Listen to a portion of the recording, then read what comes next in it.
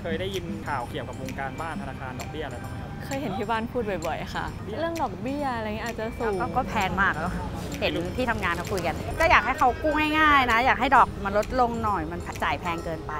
พอรู้มาบ้างว่าเดี๋ยวนี้ราคามันสูงค่ะ ยิ่งรุ่นหนูจบไปหรืออะไรเงี้ยถ้าคิดจะมีบ้านของตัวเองน่าจะยากมากๆแต่อายุเยอะแล้วคงไม่หวังแล้วมั้งแต่ใจ ป้าก็อยากมีบ้าน อยากวะมันก็อยากกันเลย แต่บ่มีปัญญาสิซื้อ กังวลไหมพี่เรื่องการซื้อบ้านคอนโด กังวล เพราะว่ารู้สึกว่ามันแพงไม่คุ้มค่าค่ะ ราคามันเกินสิ่งที่เราควรต้องจ่ายไปอะอันแรกเนี่ยเอ่อดอกเบี้ยก็สูงกัน เราต้องช่วยกันเรียกร้องว่าเราน่าจะให้แบงก์ทั้งหลายเนี่ยปรับลดลงมาสัก 0.5%หรือ 1%เพราะถ้าเราปรับดอกเบี้ยลงมา 1%เนี่ยนะมันทำให้เงินผ่อนมันหายไปประมาณสัก 8-9%ชาวบ้านที่ผ่อนบ้านอยู่เนี่ยก็จะหายใจหายคอได้คล่องมากขึ้น ตอนนี้ธุรกิจแบงก์มันกึ่งผูกขาดมีอยู่แบงก์อยู่สิบกว่าแบงก์นั่นเองแบงก์ทั้งหลายนี่มันอาจจะเป็นพ่อทุกสถาบัน มีอิทธิพลสูงมากแล้วนะอาจจะไม่ยอมลด แต่ถ้ารัฐบาลเอาจริงก็น่าจะทำได้อ่าดอกเบี้ยเงินฝากเนี่ยน้อยกว่า 1%ดังนั้นมีช่วงห่างระหว่างดอกเบี้ยเงินกู้กับเงินฝากเนี่ยถึง 5%อย่างนี้เนี่ยถือว่ามันมากเกินไปธนาคารเนี่ยทำมาหากินกันง่ายเกินไปที่แบบบ้านคนซื้อยากปล่อยไม่ออกเนี่ยแล้วอนาคตคนพวกนี้ยังไงเออ พวกนี้เนี่ยจะต้องรอไปซื้อบ้านมือสองบ้านมือสองมักจะถูกกว่าบ้านมือหนึ่งและบ้านมือสองได้แน่นอน บ้านมือหนึ่งบางทีซื้อไปแล้ววางเงินดาวไว้ไม่รู้จะได้หรือเปล่าหรือว่าตลาดบ้านกรมบังคับคดีบสกอะไรพวกนี้เนี่ยครับเป็นบ้านมือสองที่ราคาก็จะถูกกว่านะแต่คนเราทั่วไปมักจะมีจินตนาการว่าเราจะซื้อบ้านมือหนึ่งถ้าเราจะซื้อบ้านเนี่ยเราก็มองสองอย่างเลยนะหนึ่งราคา ซึ่งถ้าเราดูแล้วผ่อนไหวเนี่ยเราก็ซื้อเลยนะอันที่สองเนี่ยก็ต้องดูอย่างเรื่องทำเล ถ้าทำเลกับราคามันแมทช์กันแล้วเนี่ยนะครับ และราคาไม่เวอร์เกินไปเนี่ยเราก็ซื้อได้เลยโอ้แนวโน้มคือว่าหลายๆคนก็กลัวว่าเอ๊ะต่อไปนี่เสียจะมีมากขึ้นไหมนะอย่างนึงก็คงจะกลัวว่าทรัพย์สินทั้งหลายจะขายออกไหมนะตอนนี้ภาวะตลาดมันจะตึงตัวมากเกินไปหรือเปล่าอะไรเงี้ยนะครับนี่เป็นข้อกังวลก็แต่โดยสรุปง่ายๆ คือว่าจริงๆแล้วสถานการณ์น่าจะดีขึ้นกว่าปี 66 ด้วยซ้ำไปนะเนื่องจากว่าปี 66 นี่เศรษฐกิจโตแค่ 1.8%นะปี 67 นี่คาดการณ์ว่าน่าจะโตถึงประมาณสัก 3.5-4%ก็แสดงว่าอสังหาริมทรัพย์น่าจะดีขึ้นนะแล้วก็ที่บอกว่ากลัวจะขายไม่ออกราคาตกอะไรเงี้ยเนี่ยครับอันนี้ก็คงจะเป็นอาจจะความเชื่อตามข้อมูลของทางธนาคารแห่งประเทศไทยนะแล้วก็ข้อมูลของศูนย์วิจัยราคาที่ดินในรอบ 10 ปี 20 ปีที่ผ่านมาเนี่ยก็ยังขึ้นไปเรื่อยๆ ไม่ได้มีแนวโน้มราคาตกนะครับบางคนบอกวิกฤตแล้ว แต่จากข้อมูลของธนาคารประเทศไทยเนี่ยยังไม่ถึงขั้นวิกฤตนะครับแล้วก็ถ้าเทียบกับเมื่อวิกฤตเศรษฐกิจปี 40 เนี่ยนะเเป็นหนี้ที่มีก่อให้เกิดรายได้อะถึงประมาณ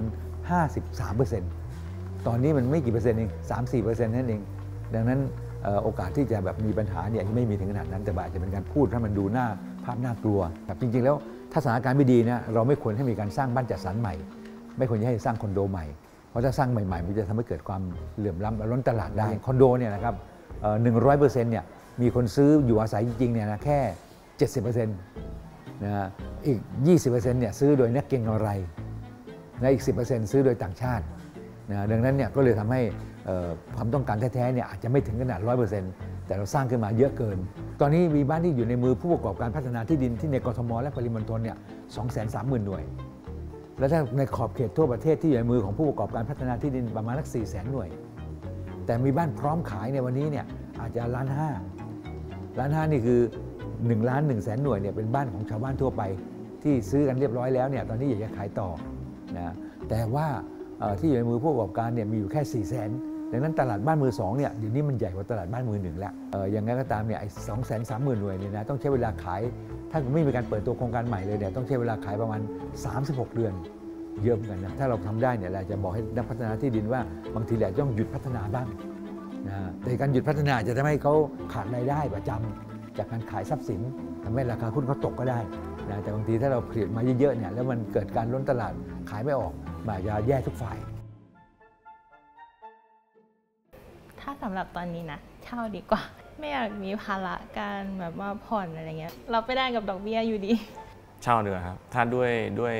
สถานะของผมนะ คือรายได้ผมด้วย ถ้าถ้าไปผ่อนอะเรื่องเรื่องดอกเรื่องอะไรมันไม่แน่นอนด้วย มีเป็นคอนโดมือสองค่ะ เช่ามันก็ราคาพอๆกับซื้อ มันไม่ได้ต่างกันมาก แล้วก็มีทรัพย์สินเป็นของตัวเอง ซื้อดีกว่า เพราะว่าถ้าเราผ่อนจ่ายค่าดอกมันก็จากราคาบ้านมันก็เพิ่มไปอีกเยอะเหมือนกันนะ เหมือนกับรถอย่างเงี้ย หนูก็เลยรู้สึกว่าซื้อสดดีกว่า ใช่สดด้วย ถ้าสำหรับหนูเองก็อาจจะเช่าค่ะ เพราะว่า ยังไม่แน่ใจว่าตัวเองอยากจะทำงานแบบไหน แล้วก็จะอยู่ที่ไหนตลอดไปอะไรเงี้ยก็เลยมีบางคนบอกเหมือนกันว่าเออแนวโน้มต่อไปเนี่ยเขาจะเน้นการเช่าบ้าน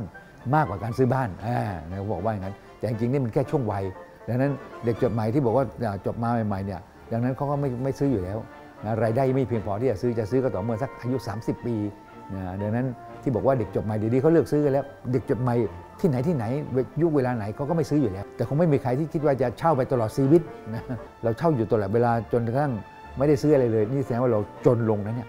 เพราะว่าถ้าเราซื้อวันนี้ราคาบ้านวันหน้ามันขึ้นไปเรื่อยๆสิ่งที่ขึ้นมามันมากกว่าเงินฝากธนาคาร ดังนั้นถ้าเราไม่ซื้อเลย ไม่มีอะไรซื้อเลยเนี่ยเราก็เท่ากับเราจนลงทุกวัน แต่ถ้าเราซื้อเนี่ยเรายังเกาะราคาบ้านเพิ่มขึ้นครับบ้านมันก็ขึ้นอะไรอยู่แต่ว่าใช่รายได้มันยังแค่ยังใช่มีปัญ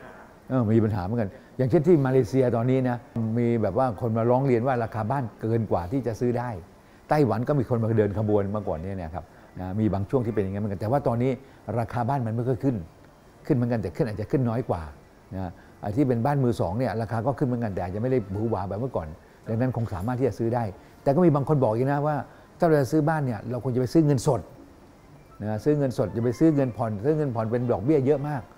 แต่ว่าความจริงแล้วเนี่ยคือว่าสมมติถ้าเราจะซื้อบ้านราคา 3 ล้านบาทเราจะเก็บเงินจนครบ 3 ล้านบาทเนี่ยไม่ได้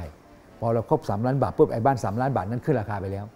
ดังนั้นเราต้องอาจจะวางเงินดาวไว้สักล้านหนึ่งหรือครึ่งล้านอะไรเงี้ยนะครับเสร็จแล้วเราก็ไปเอาเงินในอนาคตคือไปกู้เงินมามาซื้อวันนี้ ถ้าเกิดว่าแบบไม่มีตังค์นะและไม่มีเงินดาวพอ และไม่มีเงินพอที่จะผ่อนบ้านทุกเดือนทุกเดือนอย่าเลยนะอย่างนี้ทำให้แบงก์เจ๊งได้ทำให้ตัวเองก็เจ๊งได้เหมือนกัน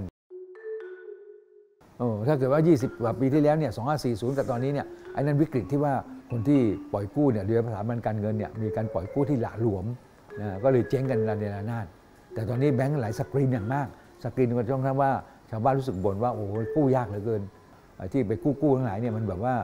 แทบจะมีหลักทรัพย์อะไรเลยเรียกว่าผ่อนกันเต็มเรียกว่าเต็ม max เลยอย่างนี้เนะครับแบงก์ก็เลยต้องปฏิเสธ อาจจะมีอัตราการปฏิเสธประมาณสัก 3-40%ก็ว่าได้ ก็เห็นเขาไปกู้กันอยู่แหละเขาก็จะดูเครดิตเรานั่นแหละว่า เราต้องผ่อนอะไรบ้างอะไรอย่างเงี้ยแต่ถ้าไปหลายอย่างเขาก็ไม่ให้ผ่านออกจากงานแล้ว เพราะว่าบริษัทเขาไปไม่รอด เราก็ต้องออกแล้วก็ต้องมาทำมาหากินอย่างเงี้ยก็ก็แก๊กแก๊กไม่พอจะได้หรอกไม่พอจะได้ผ่อนบ้านหรอก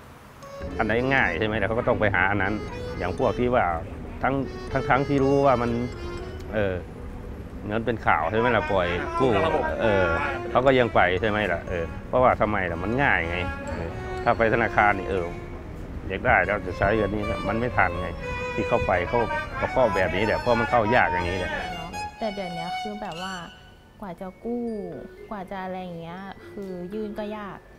ก็เลยตัดสินใจว่าเออไม่ซื้อดีกว่า แต่ถ้าเกิดมีอะไรแบบเข้ามาช่วยหลักเกณฑ์การคัดของธนาคารอย่างเงี้ยก็คือถ้ามันซื้อง่ายกว่าเนี้ยคนก็คงอยากจะซื้อมากกว่า